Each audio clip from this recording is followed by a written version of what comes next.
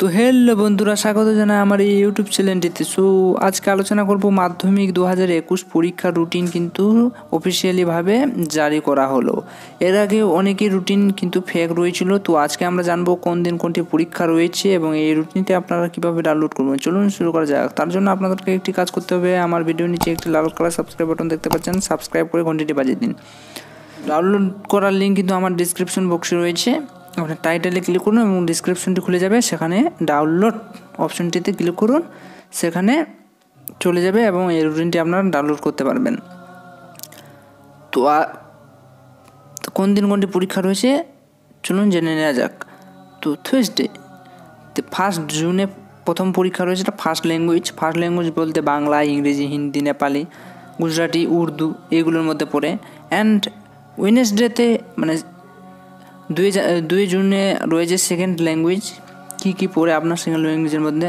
আর থুইসডেতে থার্সডেতে থার্সডেতে তিনে জানুয়ারি জিওগ্রাফি কিন্তু আগে হবে জিওগ্রাফি তিন তারিখে কিন্তু জিওগ্রাফি হবে।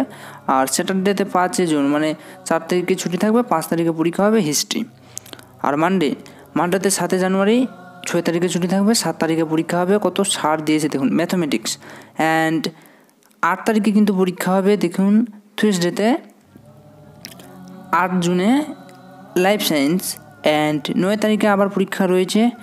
উইটনেস ডেতে তো এখানে রয়েছে ফিজিক্যাল সায়েন্স ফিজিক্যাল সায়েন্স রয়েছে মানে ভৌত বিজ্ঞান। আর থার্সডেতে আবার দোষে দোষে জুনে আর একটা পরীক্ষা রয়েছে, এটা হচ্ছে অপশনাল ইলেকট্রিক সাবজেক্ট এটি আপনাদেরকে সাধারণত সাধারণত ছেলে মেয়েদেরকে কিন্তু দিতে হবে না।